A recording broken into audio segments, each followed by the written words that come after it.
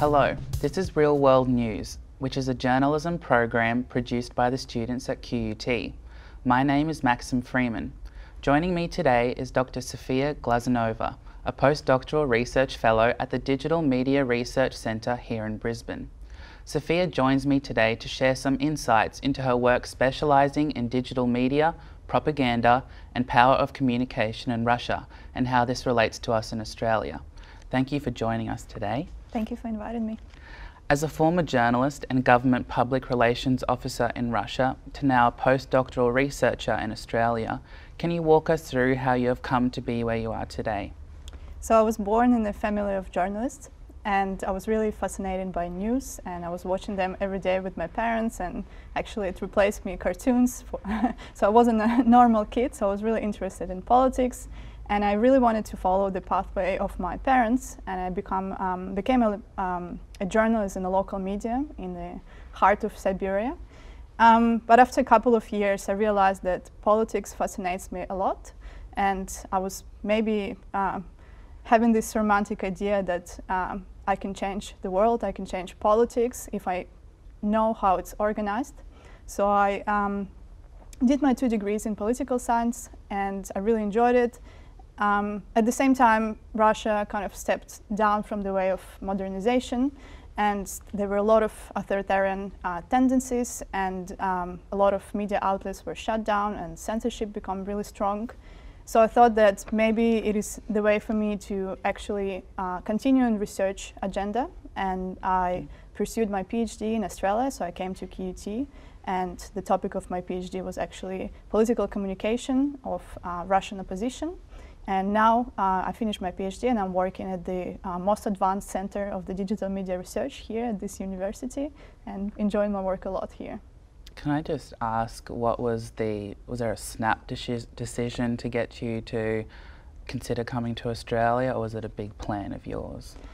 Well, I was considering um, education abroad mm -hmm. um, and actually, I think I was looking for some English-speaking country and also with the kind of developed traits of journalism and political communication. So I found everything here in, mm -hmm. in mm-hmm. this university and in Australia. Um, and of course, I think the idea of kind of um, free communication and press freedom kind of fascinated me a lot. So I thought that's the good place to come. Mm -hmm. Uh, and your research work encompasses a range of focuses, which includes a look into Russian propaganda and the concept of fake news. Um, but how does this example of Russia and its media compare to Australia and its media? So obviously Australia and Russia, they're two different political systems and they have two different media systems. Obviously in Russia we have a, a highly concentrated uh, media market, so a lot of media outlets are um, associated or owned by the government, uh, associ associated with some companies that are owned by the government. Um, and of course, there's a high level of censorship and especially self-censorship, so many journalists decide to not uh, speak about particular topics that are sensitive to the government. But if we look to um, Australia to and compare them, what I found was in common that um, actually both Australian and Russian media markets are highly concentrated. And if I said that um, in Russia, they're mostly um, government companies or like government. Uh, here, um, media market is really split between two uh, big media uh, holdings. And I found that this idea of kind of um, high concentration in uh, in two countries is actually uh, not that I would say, democratic, let's say, but in the way that it kind of prevents uh, journalists to be objective and independent. And um, at core, these two concepts also quite controversial, but at the same time, um, I think it slows down in both countries the development of uh, journalism. When you talk about that difference between Australia and Russian, uh, Russia and their government. So, um, what comes to mind with me with your research, and also an infamous example of that might be the uh, Russian TV network, or what would be known as Russia Today. Mm -hmm. And in your research, what's one of the most shocking things that Russia Today has done that you think would shock Australian people? I don't think there's such a thing of, of some, something can shock me. I'm coming from the country uh, with diverse background, let's say, and um, there's nothing um, too fascinating, too sensational, too shocking about it. I guess it's just about the strategies that they're using, and sometimes that uh, communication strategies, sometimes they're different from Western media outlets of what we are uh, used to see. Um, at the moment, I'm uh, studying audiences of Russia Today abroad, and what was really fascinating for me to find that um, Russia Today has a lot of branches, uh, for example, in uh, RT Deutsch, so RT German, RT Spanish, and we were looking at the audiences of RT um, on Facebook, and we found really uh, distinct six groups which are uh, united by, by a common language, including German, Spanish, and all of them kind of um, have a lot of common traits in a way because, for example, these are mostly the groups that share RT news. Uh, they are mostly uh, media outlets as well, but alternative, not the uh, mainstream media outlets. So they kind of position themselves as outsiders of the media world. So it's interesting that um, RT attracts this kind of uh, audiences online. Uh, but of course, we are continuing our studying and we'll have some results very soon. Mm, going off that, uh, many people would believe that then they can identify fake news or news which is based more on opinion than fact. Do you believe this is true? And in saying this, how impressionable are people to the messages and ideas conveyed in published news?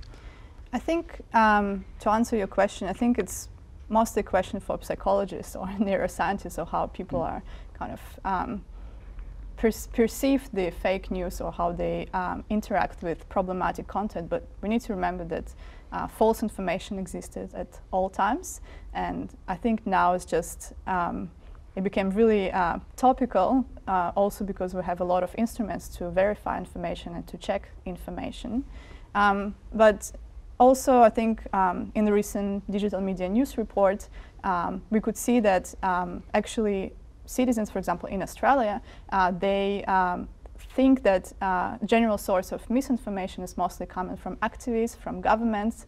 So what does it say is that um, there's not too much trust in society to these institutions, and actually people or started to believe less to this institution during political crisis or other events. So I think one of the roles that media can play is actually in generating this trust in society pr by providing uh, accurate information, non-biased information, which is really hard to achieve uh, given that we all have, uh, like all the media outlets have different owners and beneficiaries. But at the same time, I think it's one of the um, can be, can be and should be really a trustful source of information by using different journalism practices to provide this information. And in talking about developing that trust between politics, communication, and then just the general public, um, in Russia, where the legitimacy of news information may appear dubious at best of times, how do skeptical members of the public gain access to the truth and share this with each other in the public? Well, the answer is the internet. um, of course, there's um, a lot of information circulating uh, in the internet which is alternative to mainstream media um, in Russia, and this is what my thesis is about, is how political activists use internet to communicate with their supporters and attract uh, people to their political activities.